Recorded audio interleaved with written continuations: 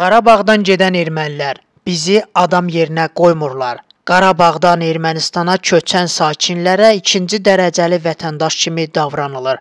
Axaraz Qlobal İnfoza istinadən xəbər verir ki, artıq bir müddətdir Ermənistan kütləvi informasiya vasitələrində sakinlərlə bağlı çox sayda məskunlaşma probleminin olduğu bildirilir və onların narazılıqları ictimailəşdirilir.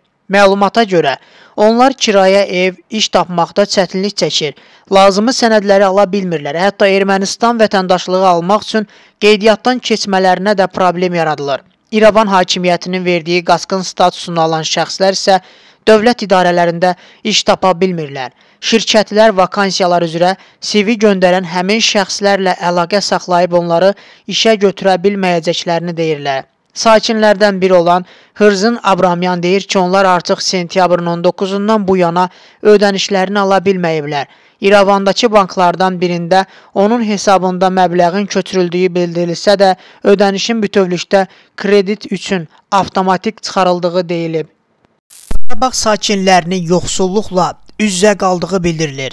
Karine adlı bir Qarabağ ermənisi isə deyir ki, Ermənistan hakimiyyəti sakinlərin qondarma rejimdə hansı vəzifədə çalışıblarsa, ölkədə də eyni strukturda, eyni vəzifədə çalışacağı vədini verib. Lakin oğluna öz vəzifəsi üzrə müraciət etdiyi hər yerdən imtina cavabı gəlir. Məsələ ilə bağlı səlahiyyətli şəxs olan baş nazirin müavini Tigran Xaçatıryanın heç bir suala cavab vermədiyi, şikayətlərə laqeyd yanaşdığı deyilir. Bu da Qarabağdan gələnlərin ciddi narazılığına səbəb olub. İnsanlar çarəsiz duruma düşdüklərini bildirirlər.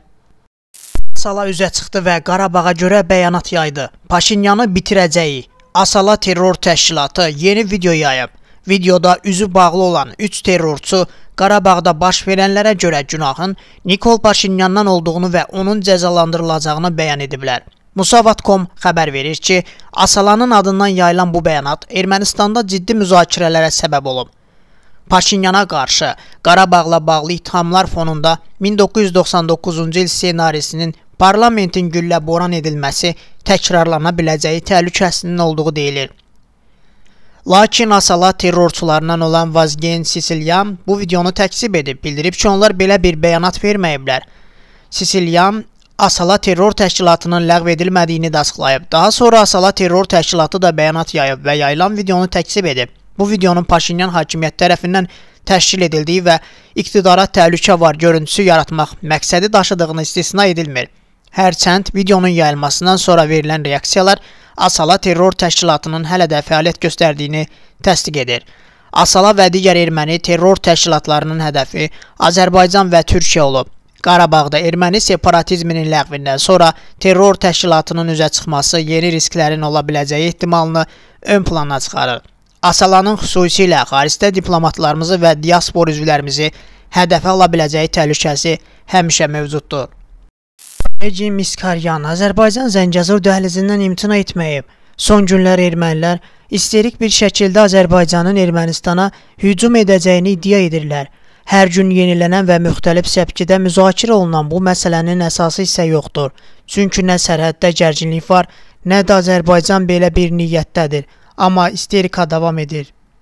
Məsələn, erməni siyasətçi Qarecin Miskaryan Haykakan Jamanaka müsahibəsində iddia edib ki, Azərbaycanın Ermənistana hücum edəcəyi xəbərləri yeni deyil. Lemkin soyqırımının qarşısının alınması institutunun Azərbaycanın yaxın günlərdə və həftələrdə Ermənistana təcavüzü ehtimalının olması ilə bağlı narahatlığı hamının bildiyi reallıqdır. Onun sözlərinə görə, institutun verdiyi bəyanatda yeni deyil, Ermənistan hakimiyyəti bu barədə dəfələrlə çıxış edib. Sual ondadır ki, bu bəyanatla onlar sadəcə olaraq belə bir riskin mövcudluğunu bir daha sənədləşdirirlər, xəbərdarlıq edirlər, yoxsa əhəmiyyətini vurğulayırlar. Bəlkə də Azərbaycanın geri çəkilmədiyini xatırladırlar. Miskaryan iddia edir ki, Azərbaycanın Zəngəzur dəhlizindən geri çəkildiyi real deyil. Bütün hallarda Azərbaycan Ermənistan ərazisindən nəzarətli keçid istəyir və həmişə də istəyəcək və onların sevimli ifadəsi olan cazibədarlığını itirdiyi ifadəsini müxtəlif cür təhlil etmək olar. Ermənistan onların təklifi və şərtlərinə yol vermir. Ermənistanın qanunlarına və yurisdiksiyasına, ərazi bütövlüyünə, ərazi bütövlüyünə əsaslanan ərazidən istifadə etmək və ya gələcəkdə Sünikə qarşı hücuma haqq qazandırmaq üçün bəhanə kimi istifadə etmək onların marağında deyil. Azərbaycanın bəyəndiyi və uyduracağı çoxlu bəhanələr var. Qərbi Azərbaycanlılar Xankəndində yaşaya bilərmi?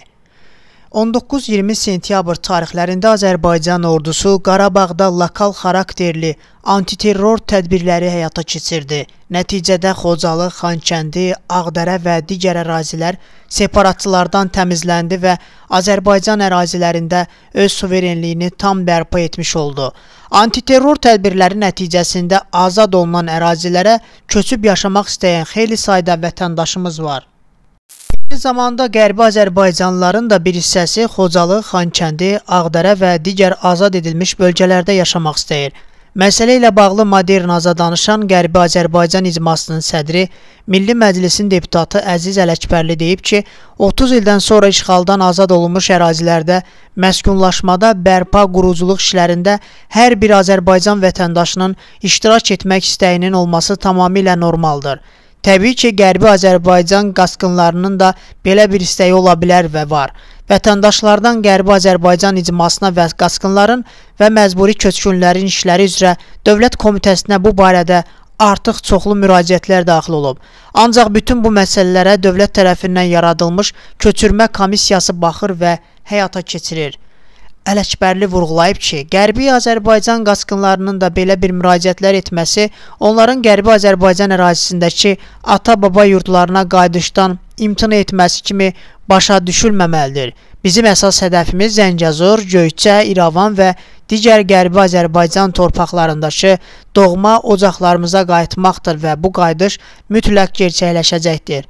Qarabağ və Şərqi Zəngəzur bizim Qərbi Azərbaycan yurdlarımızla sərhəd bölgələrdir və insanlarımızın o yerlərə can atması heç şübhəsiz onların öz ata-baba yurdlarına daha da yaxınlaşmaq istəyindən irəli gəlir.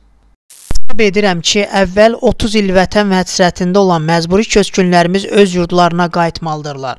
Məqsədə uyğun hesab edildiyi təqdirdə Qərbi Azərbaycan qaçqınlarını yaxud Azərbaycanın başqa bölgələrindən olan insanların da köçürülməsi məsələsinə baxıla bilər. Lakin yenə də deyirəm ki, yekun qərar dövlətin yaratdığı köçürmə komissiyasına aiddir. Bu komissiyaya bütün istəkləri araşdırıb qərar vermək səlahiyyətinə sahibdir deyə Əziz Ələkbərli bildirib. Erməni nazirdən sensasiyon etiraf. Azərbaycandan qorxuruq.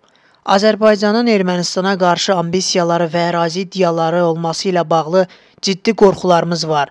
Axaraz erməni mediasına istinadla xəbər verir ki, bu sözləri Ermənistan Xarici İşlər Nazirliyinin rəhbəri Ararat Mirzayan bu ölkədə səfərdə olan Almaniya Xarici İşlər Naziri Anna-Lena Berbokla keçirdiyi birgə mətbuat konfransında deyib. Xüsusilə məsələn, regional infrastrukturlara gəldikdə Ermənistanın suverenliyi ilə bağlı müəyyən qeyd şərtləri var. Deməli, o qorxular bu gün də mövcuddur deyə Mirzoyan bildirib.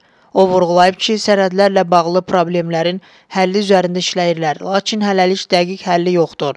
Biz gördük ki, Ermənistan Respublikasının planlaşdırdığı təhlükəsizlik mexanizmləri effektiv deyil, Mirzayan bildirib. Qeyd edək ki, Azərbaycan Mirzayanın işarə etdiyi regional infrastruktur Zəngəzur dəhlizi ilə bağlı fikrini dəyişsə və İrandan dəhlizlə bağlı saziş imzalasa da Ermənistan yalançı təbliğatını davam etdirir. Qeyd edək ki, ötən gün İrəvanda olan Anna Lena Berbokun bu gün Azərbaycana səfər edəcəyi gözlənilir.